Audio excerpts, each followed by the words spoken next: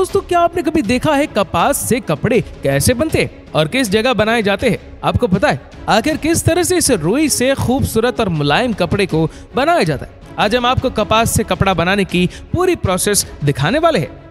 दोस्तों, हमारा भारत कपास की खेती में दुनिया भर में नंबर वन पर है और भारत में सबसे ज़्यादा कपास की खेती की जाती है। बीजों की बुवाई के कुछ महीनों बाद, पौधों में कुछ इस तरह की कपास की बॉल्स लग जाती है, जिनसे आगे धागा बनने वाला है। कपास से कपड़ा बनाने के लिए सबसे पहले खेतों से कपास को निकाला जाता है।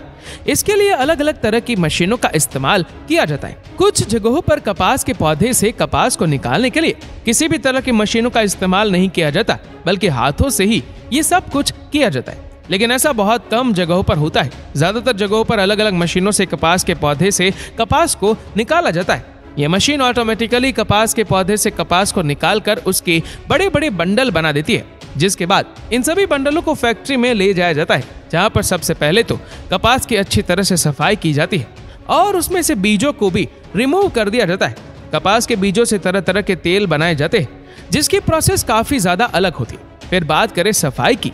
कपास में जितनी भी गंदगी होती है, उसे पूरी तरह से साफ़ कर दिया जाता है। और अब सिर्फ़ बचती है रुई। इस रुई को फैक्ट्री में अलग अलग तरह की प्रोसेस से गुजारा जाता है। और जब सभी प्रोसेस कंप्लीट हो जाती है तो फिर इस रुई के मोटे मोटे धागे बनाए जाते हैं। ये मशीन इस रुई से मोटे धागे बनाने का काम करती है। जब कपास से ये मोटे धागे बन जाते हैं तो इन्हें फोल्ड करके आगे भेज दिया जाता है, जहाँ इन मोटे मोटे धागों को पतला किया जाता है। अब ये धागे बहुत ही ज़्यादा पतले हो चुके हैं। इन पतले पतले धागों से ही कपड़े को बनाया जाता है।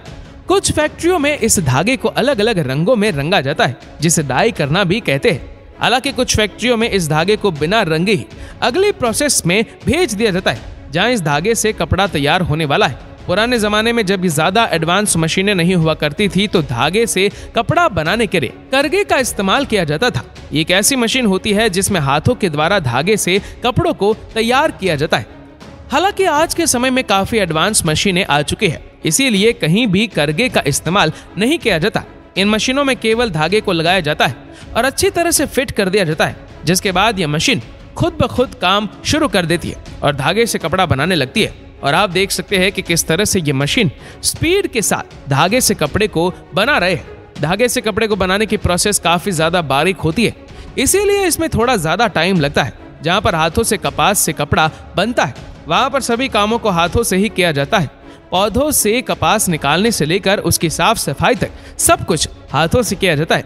भारत में आज भी कई ऐसी फैक्ट्रियाँ हैं जहाँ पर ये सब कुछ हाथों से किया जाता है। लेकिन बदलते समय के साथ साथ ज़्यादातर फैक्ट्रियों में इस प्रोसेस को मशीनों द्वारा ही किया जाता है। फैक्ट्री में जब कपड़ा बनकर तैयार हो जाता है तो उसे मार्केट में भेज दिया जाता है, जिसे हम और आप खरीदते हैं। दोस्तों, कैसी लगी आज की हमारी वीडियो? कमेंट करके ज़रूर बताएँ।